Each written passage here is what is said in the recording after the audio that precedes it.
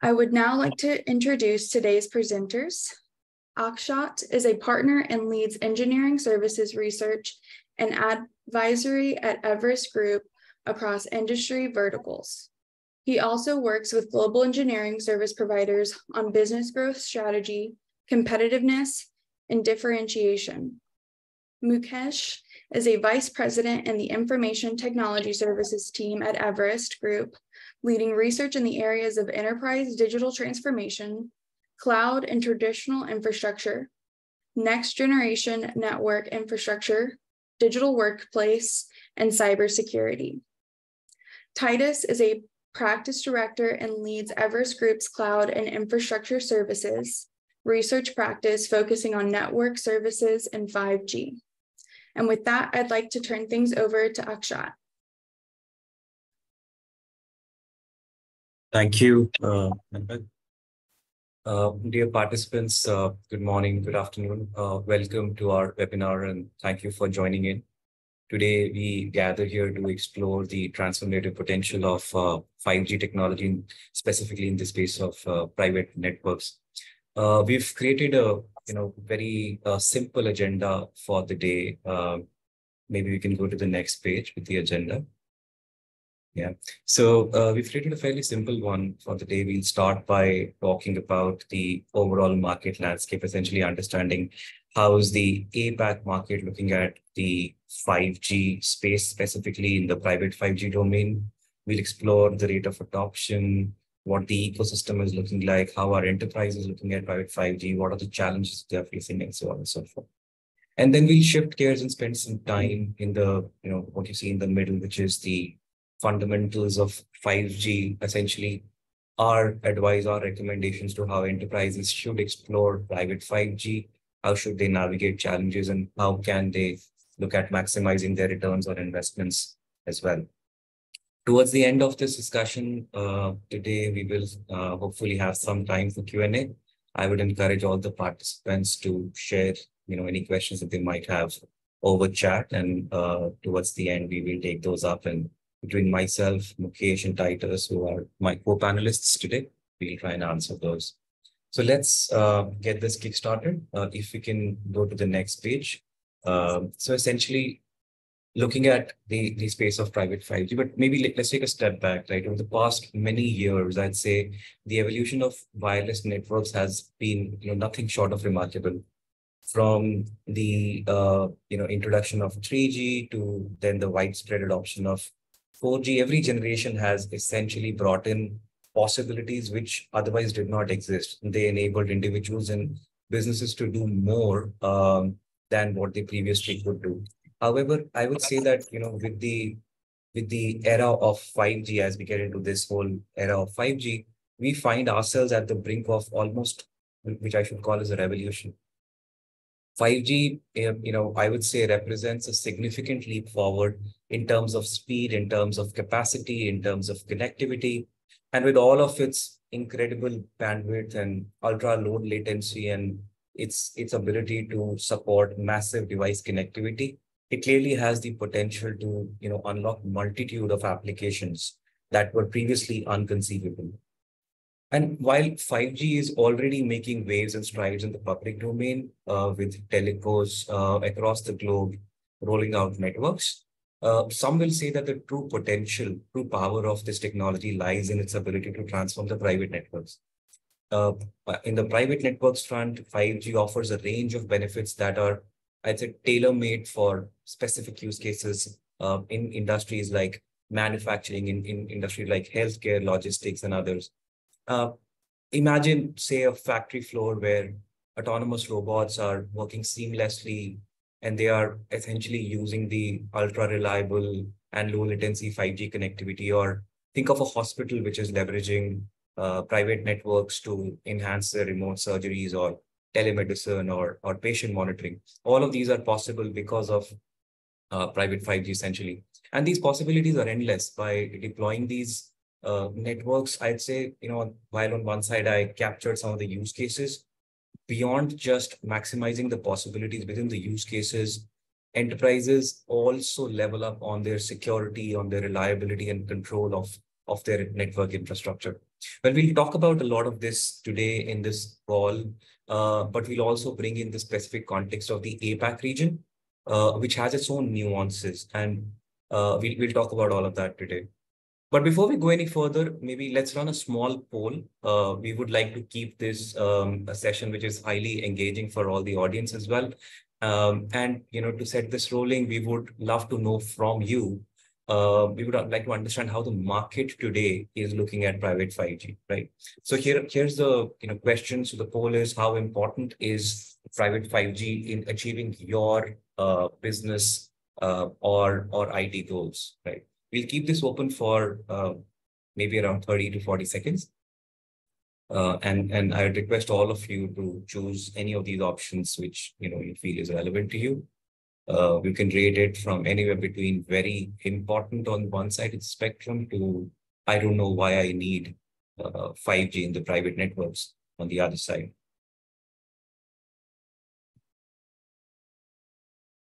Okay, so here's a quick result as all of you can see. Uh, as as I had expected, some of uh, the people say that they don't know why they need 5G.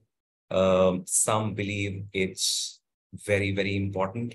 And majority of them uh, are somewhere in the middle, maybe a little, uh, little uh, beyond the middle path, which is it is important, but only when I can justify ROI. Um, and let me let me just admit, right, this is exactly what we hear from most of the ecosystem, ecosystem participants that we speak with as well. Uh, on this note, let me invite Mukesh. Uh, Mukesh will, you know, try and reflect on this and also take the conversation forward, uh, bringing the APAC context as well. Over to you, Mukesh. Sure. Thank you, Akshat. Uh, if we move on to the next slide. Yeah. So uh, essentially, I think you know with the advent of 5G, what we are talking about is that um, you know there have been multiple technologies, right? From starting from MPLS, and we had the entire landline connectivity, and then we moved to a lot of wireless technologies. So now somewhere it's a mix of all of these technologies that's prevalent amongst uh, enterprises. What we're seeing is some of these technologies are gaining more traction versus some of them are declining, right? For example, uh, Wi-Fi 5 or below or private 5, private 4G, all of these are uh, seeing decrease in terms of enterprise adoption. Whereas something like Wi-Fi 6, wireless antenna or uh, private 5G, these are seeing uh, an uptick among enterprises. Um, some technologies like MPLS are seeing a decline, but then fiber-based connectivity due to the requirements of 5G are also seeing an uptick, right? So therefore, there is a net increase even when we are talking about fiber-based connectivity right? So now private 5G kind of stands right in the middle of these technologies and um, is in a situation where it can really transform how enterprises are adopting these technologies. And what is uh, really driving these, why, what is really driving private 5G adoption or in terms of what are some of the benefits that enterprises are seeing is one is definitely in terms of monetizing avenues which means that these are creators create helping enterprises create new business opportunities directly impacting their top line. Um, second is faster time to market, which means that enterprises are accelerating time to market using uh, cloud services to automate BSS and OSS Thirdly, in terms of software-defined architecture, I think you know few years a few years ago, network was something that enterprises really did not want to touch a lot because it used to be very manual, very effort-intensive, and if something went wrong, it could lead to potential disaster for enterprises. However, uh, over the last few years, people have made it a lot more programmable, and private 5G helps it, uh, you know, become even more software-defined, leading to greater innovation and control for enterprises. The fourth benefit uh, private 5G is providing is reduced operational expenditures, uh, which means that it is, um, you know, essentially through through virtualization and improving server utilization, overall operational expenditures are going down. And finally, providing control and security. So the ability of enterprises to control and shape data traffic to improve overall security. And in general, what we are seeing in security is becoming a top imperative of enterprises. So, um, you know, I think these are the key reasons why we are seeing uh, private 5G connectivity improving. If you move on to the next slide, contextualizing this to APAC in terms of how we are seeing the adoption, um, in APAC enterprise spending, we do believe is expected to grow significantly because of uh, significant increase in demand by enterprises and also the support system, support ecosystem initiatives. Now, currently, as, par, as per our estimates, the overall APAC private 5G market in terms of enterprise spending stands around 300 to 350 million US dollars and it is uh, expected to grow at a CAGR of 40 to 45% over the next five years. And in terms of where the spending is going or coming from within enterprises, around 50% is on infrastructure and equipment. Associated services is 35% and 15% is being spent on spectrum. And if you look at the split from a services perspective, essentially CSPs are around 40% uh, of, of enterprise spend then independent private networks, 35%, and hybrid networks, 25% of enterprise spend is going in these, right? Now, talking about, uh, you know, again, from an APAC perspective, what are the drivers from a private 5G, um, private 5G lens? So we saw some of the benefits, right? Obviously, those are there. But apart from that, from an enablement perspective, why APAC enterprises are seeing uh, good traction is improved enterprise connectivity right? So again you know we are talking about this in terms of reducing time to market for applications and how it can lead to overall efficiency. Rising private 5g use cases um, i think this is one market which is essentially being driven by use case identification right? So it's not a blanket approach that is working for enterprises so each enterprise has its own um, use case that is trying to identify provider ecosystem investments, um, you know, if you look across telcos, system integrators, some of the network equipment providers, all of them have been investing not just from a technology perspective, but also in terms of consumption models, offerings, um, and an improvement in, from a value proposition for enterprises as well. And finally, increased regulatory uh, support. I think APAC has been one region. Obviously, you know, within APAC, there are different countries, and we'll see some of that nuancing as well in subsequent slides. But in general, what we have seen is that there is a more maturity from an overall adoption framework, market events, and conducive uh, spectrum licensing right? So that's a brief overview. And as I mentioned, right, know, we'll be going into specific regions and I'll ask Titus to walk you through within APAC how specific regions are behaving. Thank you, Mukesh. So I've been tracking this market for some time and I always find the APAC market to be the most fascinating amongst all, given the diverse nature of the market when I say diverse, it's both in terms of maturity, regulatory support, and the use cases that are being adopted. We see a diverse nature in terms of that. So when I talk about examples, the way to look at APAC market, and this is specific for enterprises, service providers, telecom providers who are supporting this ecosystem is to look at, at different regions, given that each region has a different maturity. For example, if you take China, South Korea, and Japan, they're fairly advanced markets, and I would even rate them well above any of the Western countries in terms of maturity of 5G and even in terms of standalone 5G adoption. These markets stand way ahead of the Western countries, and even the, some of the speeds that have been achieved in these markets are fairly high. And if you take the other end of the spectrum, there are countries in the ASEAN region, which are yet to adopt. Someone like Indonesia has just started adopting in 2022. There are markets which are yet to even start the 5G journey. So you get a wide variety of spectrum in terms of addressing this market. And especially the ASEAN market is, is a mini APAC in itself. You have Singapore, which is very mature. You have uh, Indonesia, which is slightly behind in adoption. And you have Thailand, Malaysia, where in between the adoption journey in terms of maturity. And the way to address each of them is to take an industry specific approach. And if you look at some of the regions that are leading, if you see someone like South Korea and Japan, there's a lot more adoption in manufacturing. And specifically in manufacturing, we're looking at automotive specific use cases that are driving adoption in these regions. If you look at someone like ANZ, the uniqueness of that market is we see a lot of adoption for mining, energy and utilities, and even agriculture being a big use case in terms of uh, how the market is headed towards. And if enterprises are looking at it, they need to look at use cases for your industry and your region and the support that you're getting in terms of your region. And one more market that I want to kind of highlight here is India, though they were very late in terms of spectrum adoption, but in terms of enterprises wanting to adopt a lot of private 5G initiatives, we see a lot more uh, interest. There's a lot more backing from the C-suite in terms of, hey, I want to differentiate my offerings through private 5G, and that's going to be an interesting space eh, going forward. And right now, my, the growth rates might be lower, the market sizes might be lower, but going ahead, it's going to increase in a drastic manner. And in terms of uh, industries, obviously manufacturing is leading the uh, spend in terms of where they're adopting. Uh, and some of the use cases are split across both automotive as well as some of the process engineering, both in terms of automated guided vehicles. You have seen a lot of use cases coming up.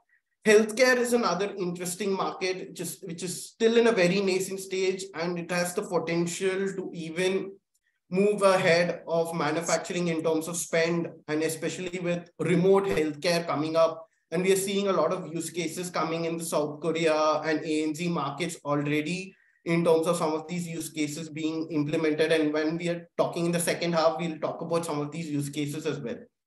Moving on to the next slide. And now that we talked about some of the industries and the regions, I also want to talk about the ecosystem. And that's kind of important to talk about given that earlier network was standalone. People, there were dedicated providers who were working on network technology standalone.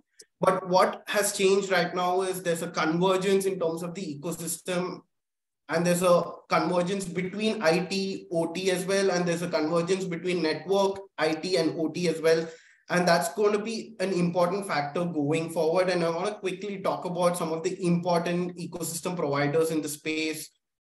And the first and obvious ones being, being the network equipment providers. These are the ones who provide you with your RAN equipment, some of your 5G devices, all of them. And what we are seeing uh, in terms of how they're going to go forward is we're going to see adoptions uh, offerings in like private 5G in a box where instead of you installing big or ma many small cell equipments, there's going to be a box type of offerings uh, that are going to come up so that the enterprises can easily adopt private 5G without having to invest a, a lot in them in terms of both capex investment as well as some of the time investments. But with time, the role of equipment providers will decline as, as and when enterprises mature in their adoption. The CSPs or what we call them, the telcos, have a critical role to play with their expertise in providing network and 5G for many, many years. And what they are trying to do right now is they're trying to provide multiple options in terms of how they can adopt 5G instead of enterprises spending a lot on spectrum themselves. They're getting options like network slicing of public networks, network slicing of private networks from telcos. And what we are also seeing telcos increasingly do is in terms of bringing the entire ecosystem together. They are working with the likes of network equipment providers. They're working with the likes of hyperscalers and they want to bring together a single offering that can be directly implemented for a particular use case. Then we have another critical role, which is the service providers, or what we also call them as system integrators. They are going to be key in terms of bringing the other IT stacks together in terms of the private 5G and the use cases. If I have to draw a comparison in, with cloud,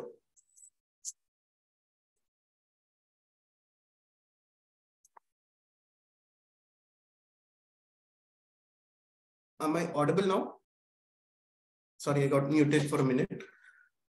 So in terms of, they're also looking at the system integrators going to bring cloud applications, different IoT technologies, different edge technologies together, given they've worked on the enterprise environment for many, many years. They understand the industry and the use case better than anybody else, and they're going to play a key role going forward. And right now, they might be behind in terms of the amount of spending that the enterprises spend with them, but going forward, they're going to play a crucial role in terms of enabling those use cases, working along with the telcos, equipment providers, and the hyperscalers.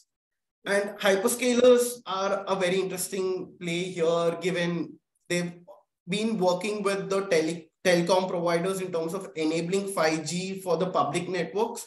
And now they've shifted their focus in terms of monetizing 5G for different enterprises as well. And we've seen the likes of Azure work with some of the APAC telecom providers like Singtel. Uh, we are seeing likes of Airtel working directly with AWS in terms of enabling specific use cases. And what the hyperscalers bring to the table is in terms of core infrastructure, be it RAN, as well as in terms of compute storage as well as some of the data analytics capabilities as well and that's going to be an interesting play going forward because any of the use cases that we are looking at that private 5g is going to enable the core IT infrastructure has a critical role to play in it, and cloud is the only solution. And from a cloud to an edge point of view as well, we are seeing a lot of offerings coming up uh, in terms of what the hyperscalers and their role is going to increase going forward in the next one to two years. And lastly, we have the or technology providers who kind of provide software and solutions, both in terms of enabling private 5G, enabling IoT, IIoT use cases in terms of both deployment, management, especially security is a key role to play. And uh, we also have some of the specialist providers who are working on industry specific use cases as well. So this is the kind of ecosystem that we are looking at. And in terms of right now, the adoption may be at the starting point and still there's not a dominant partner that the enterprises can look towards. But in the next one to two years, the entire ecosystem is going to converge and we're going to have a single point of contact that the enterprises can work with and the APAC enterprises have already started doing that in certain pockets. With that, I want to pass it on to Akshat for the next poll. Thank you, Titus. So, uh, folks, so far we've discussed a lot of aspects around uh, the overall market. Why is this technology important? Why are people looking at it? We also gauged uh, people's interest. But here's the second part. If you actually think of adopting, what are the challenges that you face? So that's our next poll, in your opinion, which is the biggest challenge to enterprise adoption of private 5G. Again, this is going to be open for another few seconds. These range from cost to you know limited benefits to tech complexity uh, and so on. So we'll keep it open for another few seconds and let's see what the attendees have to say on this particular one.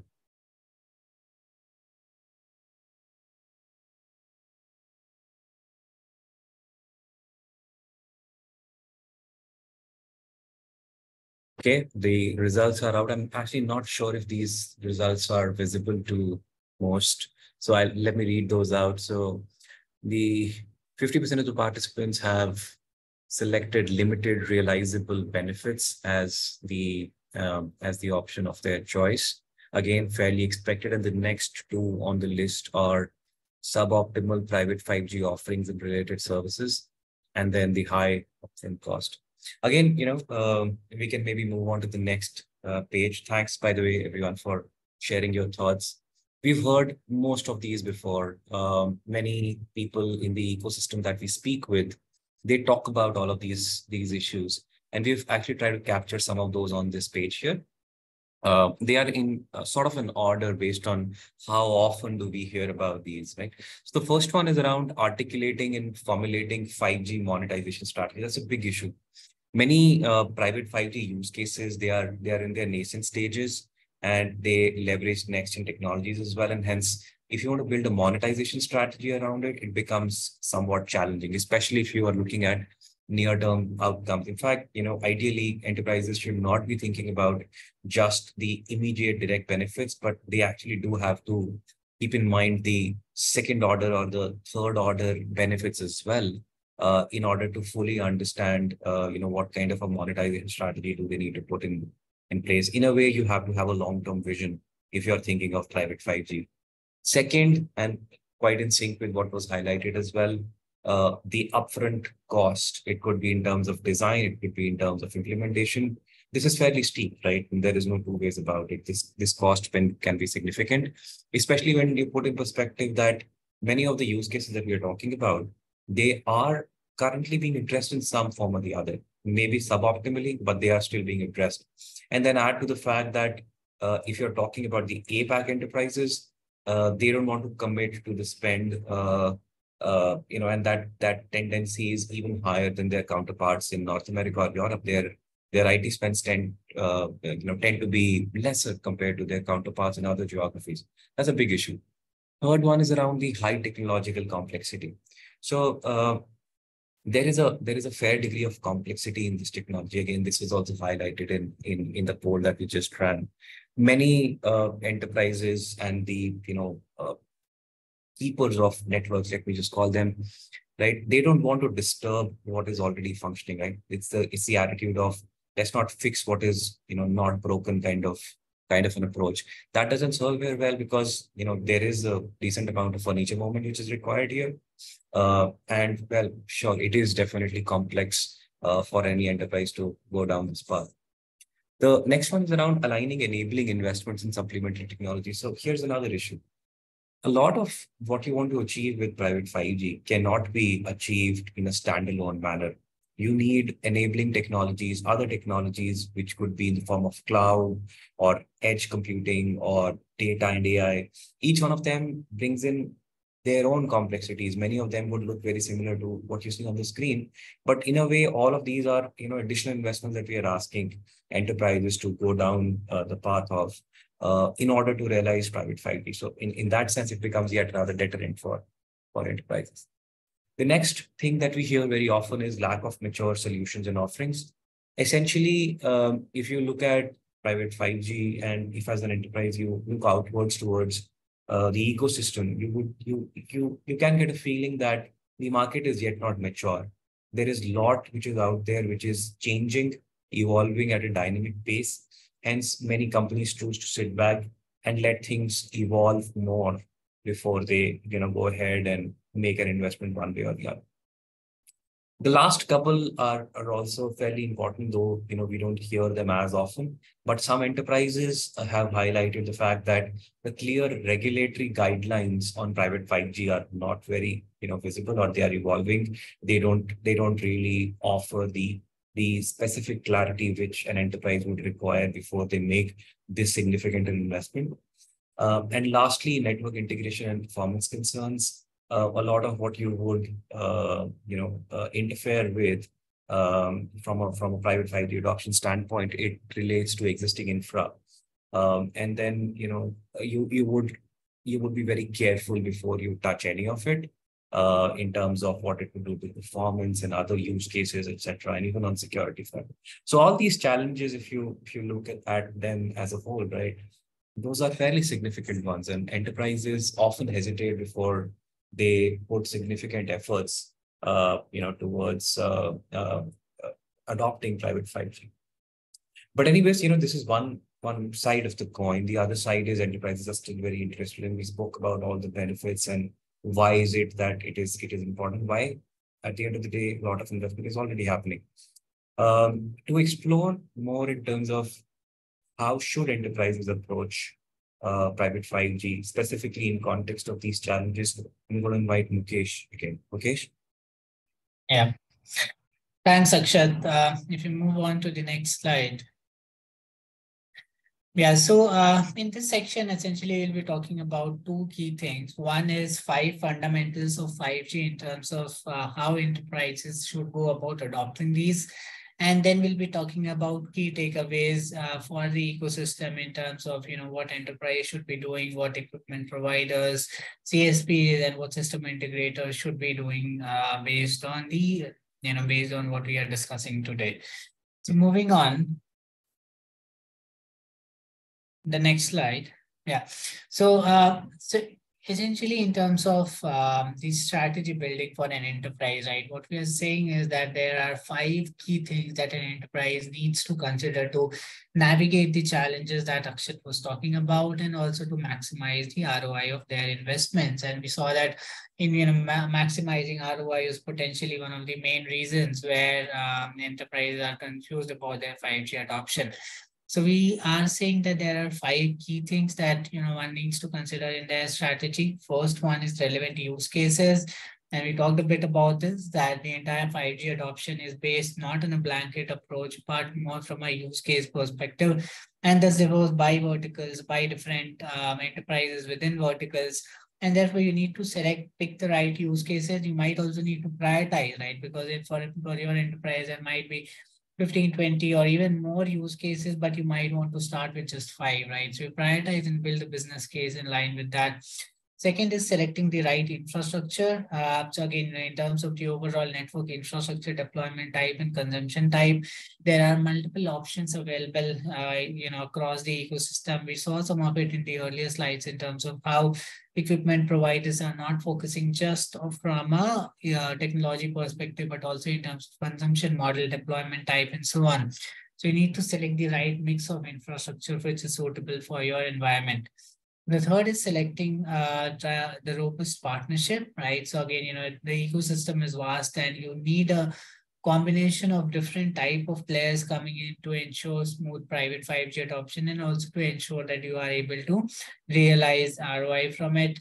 Then uh, again, very important point is measuring the results, right? Now, in, in fact, what you have observed is in some of these areas where you are implementing a newer technology, if you do not have a robust means of measuring your your progress right in terms of you know what your goals were and you know are you moving in line with that essentially you might falter and then you will say that you're not realizing the expected roi from these investments Therefore, it's, it's important to identify the relevant uh, KPIs and also the OKRs, which is not mentioned here, but you know, in terms of what's your objectives and key results, uh, effectively monitor and track them and also incorporate the learnings on a regular basis. And finally, um, in terms of related resources, right? So, you know, apart from just from a technology perspective and focusing on private 5G, right, there is the entire ecosystem of what's happening beyond 5G, which is in terms of, say, people, existing processes, adjacent technologies in the overall IT stack.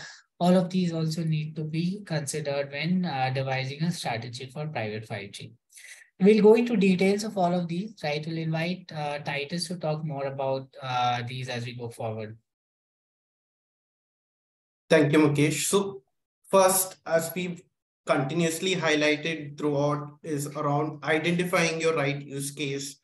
And at Everest Group, we have our own approach in terms of how do we identify it for our clients. And the first and the most key important aspect is to take two lenses. One is your internal business landscape, and the second being your external operating environment. And it's critical that enterprises take these two lenses in terms of identifying them. And we'll also talk about how to prioritize them. What are some of the key aspects to look at? And I'll also talk about some of the uh, case studies that we have been part of uh, in terms of some of the implementations that we have seen. What we typically see from enterprise and what they don't kind of identify at a very early level is is some of their taking their entire journey both in terms of network as well as in terms of business use case what are the key priorities going forward from business? At least in when i take a comparison with cloud the realization for cloud being a vertical specific approach or need to take a vertical specific approach came at a later standpoint. And given we are still at a very nascent stage, it's critical that enterprises take or identify what is your next big bet in terms of your businesses. And from there is how you start start to identify hey, this is my biggest problem and now how can private 5g in terms of along with some of my other technologies can enable that also what enterprises need to take into consideration, not just we see enterprises take into capex considerations, but they don't take care of process bottleneck, some of the legacy technologies that's not going to help in terms of you moving to a private 5G led digital transformation. So enterprises need to take all of that into picture. And the last or the more important thing that enterprises need to take a lens is not only at an enterprise level, but at a business function level, how you can transform your digital operations is something that enterprises need to consider.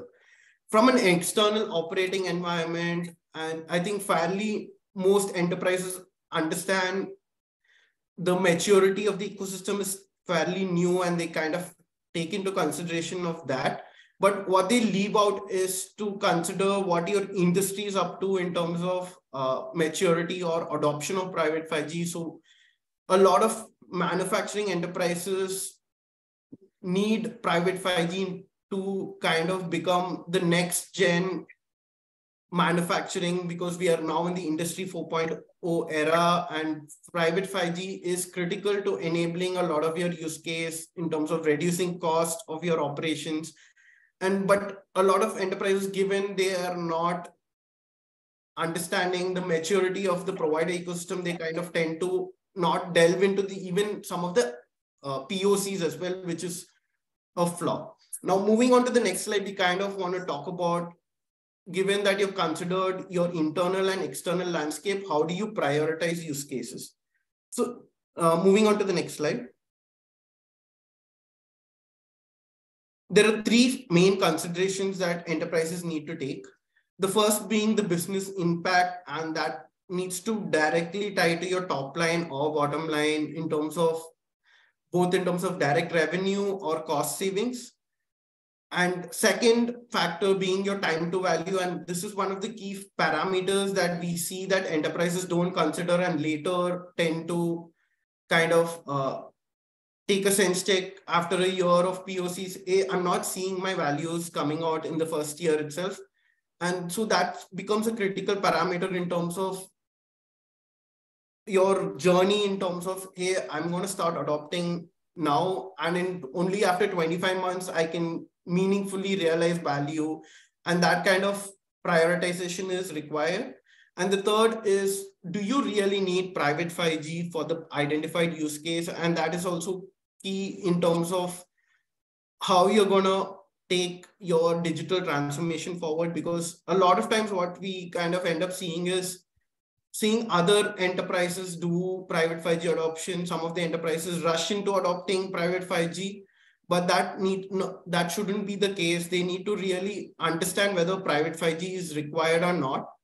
And at Everest Group, we follow a two by two framework with business impact and time to value as two axes with private 5G dependencies. Enterprises can use a similar framework to identify some of these use cases within your industry, within your business functions. Or you can also work with external advisors like Everest Group to kind of work with identifying your right use cases that are going to bring you the maximum business impact, the faster time to value at, at the same time. Now, moving on to the second parameter, which is around the, after you identify use cases, it's also critical that you identify the right infrastructure. Moving on to the next slide.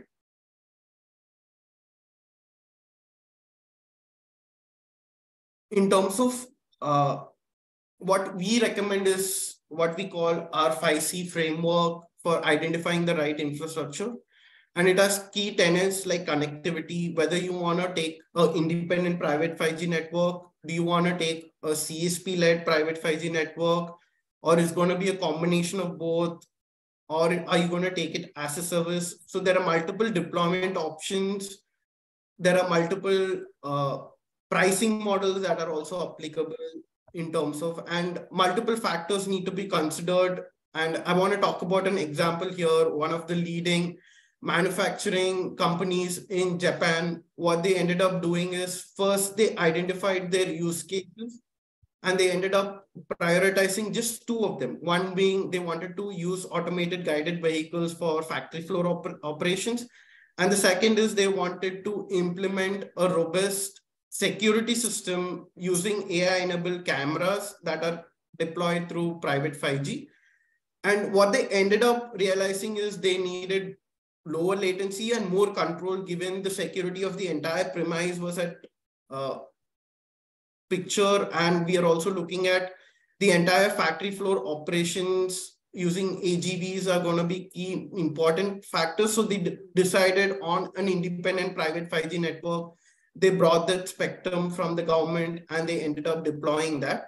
But at the other end of the spectrum, you also have some enterprises or manufacturing enterprises in India.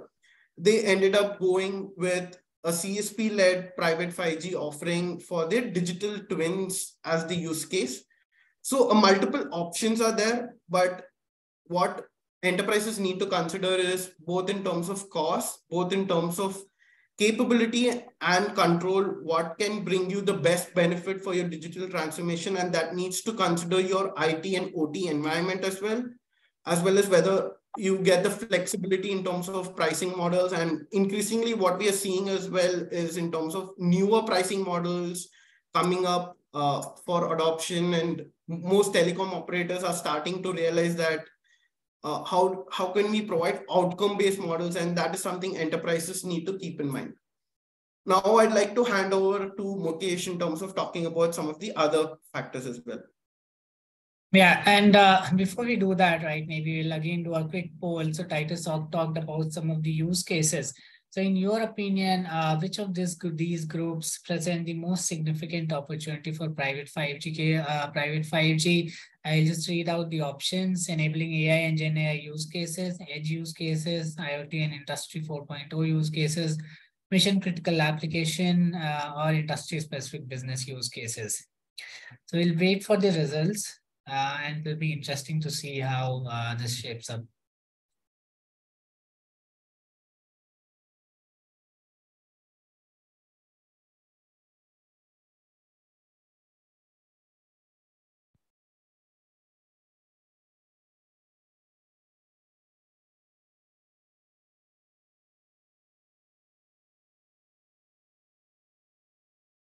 Yeah, so uh, you know, I think again ties back to some of what Titus has already talked about, right? So IoT and Industry 4.0 use cases and mission critical application use cases taking the major share of the pie, right? So um, we'll move on. We'll move on, uh, you know, and go back to slide 18 where yeah, so when we talked about uh, relevant use cases and right infrastructure, right? So next we'll be talking about robust partnership on the next slide.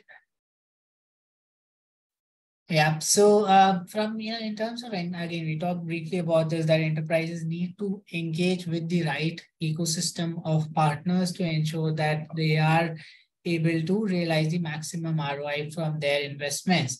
And uh, what we are you know witnessing is that from a survey we are saying that 60 to 65 percent of APAC enterprises outsourcing spend on private 5G is dedicated to initial value chain elements such as conception, consulting, design, and implementation.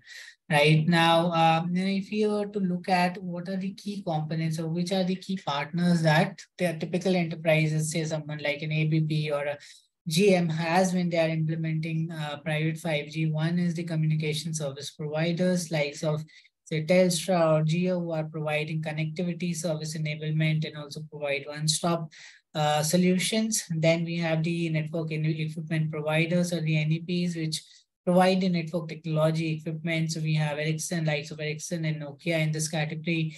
Then we have the device and software vendors where uh, who are partners for reliable and low cost IoT devices. Um, then application creators, again, you know, this is where it more becomes starts to become more business centric. So someone like a Red Hat or, um, you know, Metaswitch are providers who are relevant over here.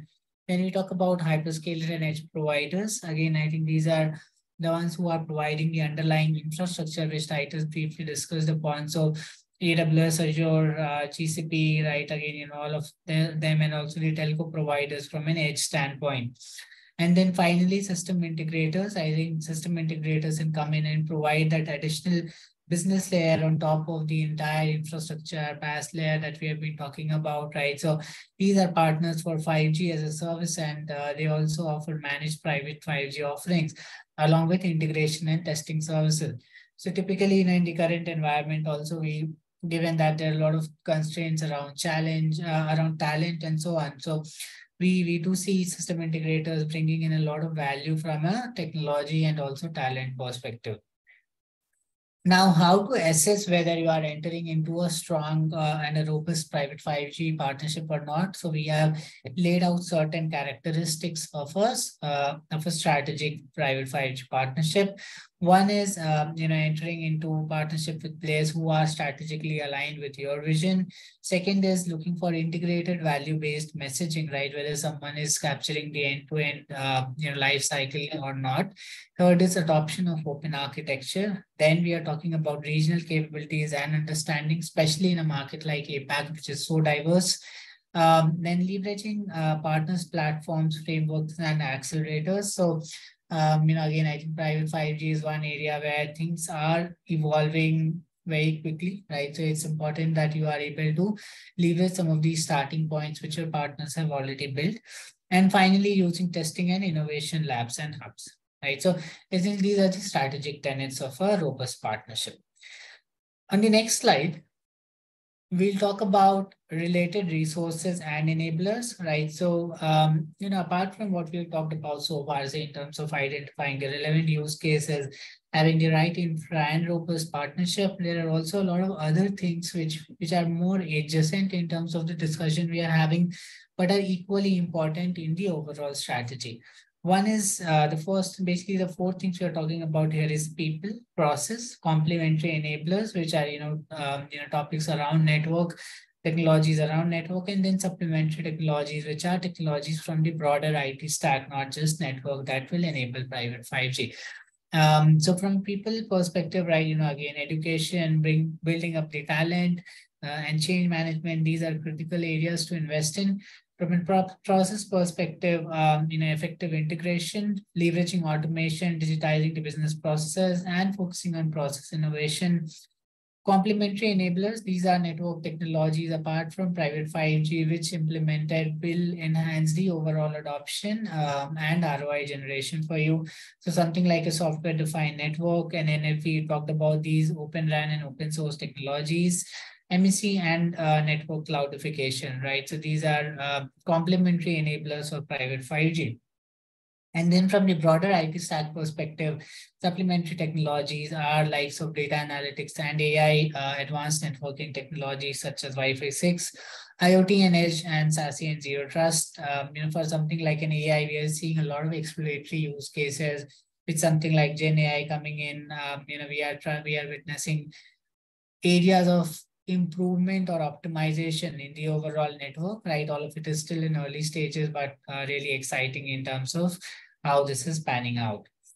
So we talked briefly talked about regular results, measurement of those results. I'll invite Akshat to talk about these in detail and also followed by the key takeaways from our discussion so far.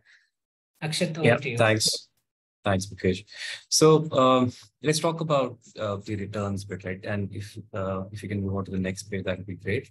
So um, this is this is very interesting. ROI is um, the most important bit at the end of the because this is where I think all the rest of the talk on talent, on technology, use cases, benefits, ecosystem, uh, related resources, and enabler, all of this boils down to uh, the return on investment.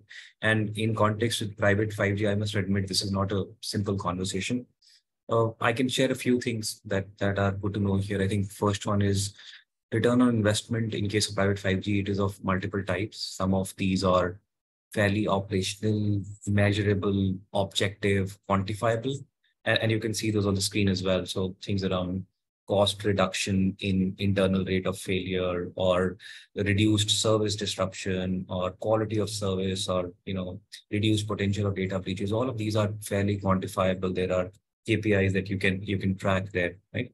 At the same time if as an enterprise you are choosing to uh, invest in private 5g you you have to also appreciate the next order uh, relatively more uh, qualitative um, you know benefits that you achieve out of it. These can be around the experience of the employees these can be around extensibility and these will also be you know uh, while they might be measurable but these are still the next order which which are distinctly around what benefits you are achieving on the specific use cases that you are really investing into. So if you are thinking of ROI you could think holistically across multitudes of these dimensions. The next thing is uh, how do you measure, right? Um, so I think the good news is that these there are there are a variety of tools which exist. The third party ecosystem, hyperscalers, many of those do offer these these tools. We have mentioned some of those, you know, in the in the bottom towards the left. And then at the same time, there are a lot of uh, very specific KPIs, like I mentioned, at least around the uh, quantifiable objective weights that you can measure. These are things like cost per cell site, packet loss rate, signal to noise ratio, uh, etc., which are very operational. And there could also be other business KPIs that, that you could also go to. The last thing that I'd mention here is that while, of course, you can venture into measuring the ROI, say a few days down the line after having invested in letting your private 5G networks run, but while that is okay, this is also not an activity that that you want to do in just one go and be done with it. In a way, what we're saying is that uh, measuring uh, the ROI, return on investment on private 5G, the uh, it has to be a phenomena where you regularly track results which is in a way, you know, what we wanted to communicate through the slide.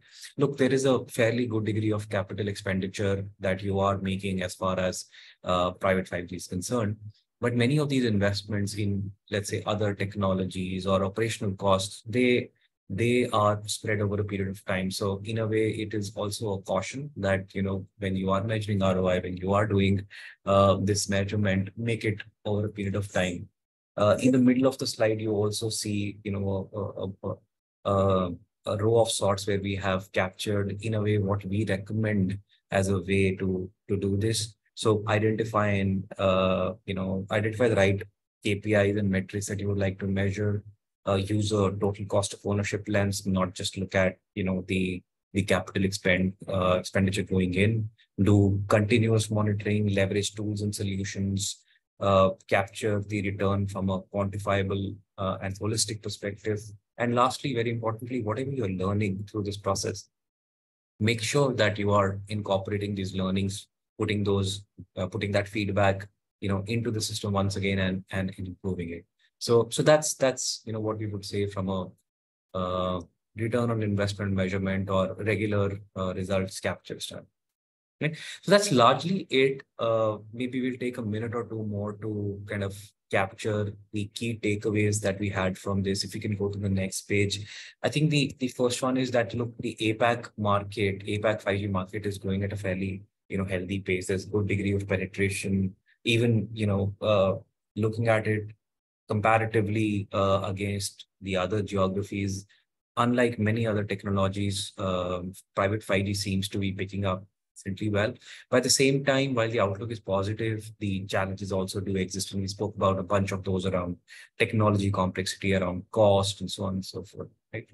Uh, so enterprises do need to be very watchful of some of them and and devise uh, a very strategic, uh, you know, uh, kind of roadmap as to how they do it. So the key takeaway from for them is to identify the right use cases, uh, leverage the ecosystem, the power of the ecosystem for uh, from a technology uh, and talent standpoint.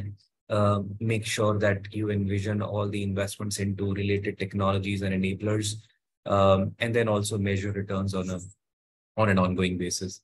The next bit is for telcos. Uh, telcos have a huge role to play here, but I think what we would recommend is that they should look beyond their their role of just being connectivity providers and they could actually venture into providing a lot of other, you know, higher value uh, elements um, from from the standpoint of private 5G value value chain. Um, and of course, you know that means that there will be a lot of monetization opportunities as well, which come their way. The third uh, block of takeaways is for the service providers, the system integrators. Um, they have a very interesting role to play here, right? Uh, like we mentioned on all the challenges around complexity, around uh, networks. So they they are the ones who bring in a lot of understanding, a lot of uh, technology know-how, a lot of domain as well, um, as well as the fact that you know all this next-gen stuff they have the capabilities to bring in. So their role is going to be very critical. They are advised to invest. They are advised to bring all this power of you know technology, talent, as well as orchestrating the rest of the ecosystem to the enterprise advantage. So, so that's pretty much it, folks. I think that's uh, those are, the, some, those are some of the things that we wanted to share today from a private 5G standpoint in the APAC market. That brings us to the end of what we wanted to discuss.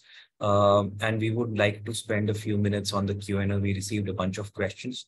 I don't think we'll have time to do all of them, but we will try and address some of those. But before we get to those specific questions, I'm going to invite Titus very quickly to talk about what we have on the next page. Titus. Sure.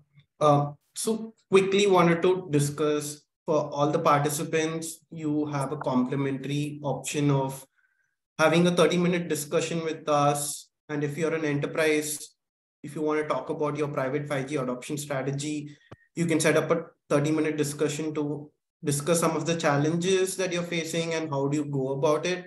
If you are a telco, how do you want to monetize your private 5G investments? We have a plethora of ways to help CSPs monetize your 5G investments. So we can have a discussion on that. And if you are a system integrator or service provider, how do you build an integrated private 5G value proposition? So these are complementary offerings that you can take up and you will receive a mail post the session as an attendee and you can take up any of these complimentary sessions and one of our experts will get in touch with you and address some of your queries on a one-to-one -one call. And uh, with that, I'll quickly take up some of the questions that we have gotten on the chat window. Uh, uh, this, this one question from Rahul around there is ambiguity in ownership of who's going to lead the private 5G investment or the deployment of private, private 5G. And the answer is yes, we do see that in terms of who wants to take ownership. If you talk to the equipment providers, they're like, please take talk to the telcos first. And if you go to telcos, they're like, I think I need to talk to your system integrator as well. But right now, what we are also seeing is with 5G getting more mature, the telcos are starting to lead uh, the adoption in terms of private networks and they're more uh, taking the initiative into their own hands in terms of helping some of the enterprises uh, move towards a private 5G network. So in our point of view, CSPs are going to lead initiative, but the ecosystem has a key role to play. So we will have hyperscalers, system integrators as, a, as well playing a key role. That doesn't mean others are not leading efforts, but especially in APAC, what we are seeing is in Singapore, in South Korea, in China, it's been the telcos that have been leading the efforts in terms of some of these deployments.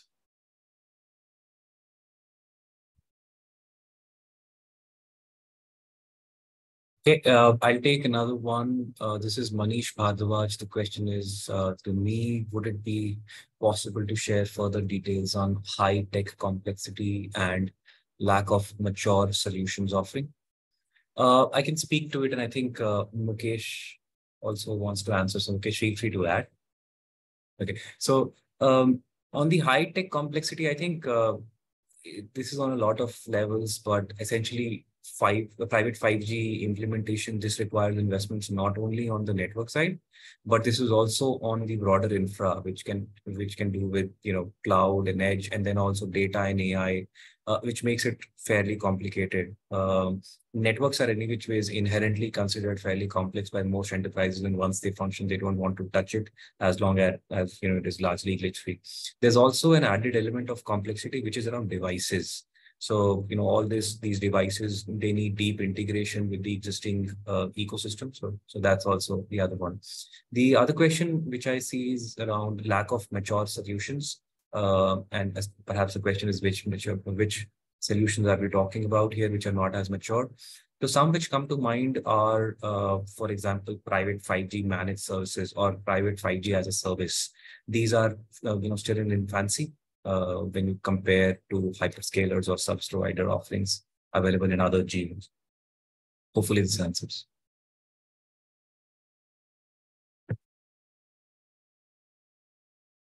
Okay, um, I think that brings us to the end of this session today. Uh, hopefully this was useful. Thank you everybody for taking the time out.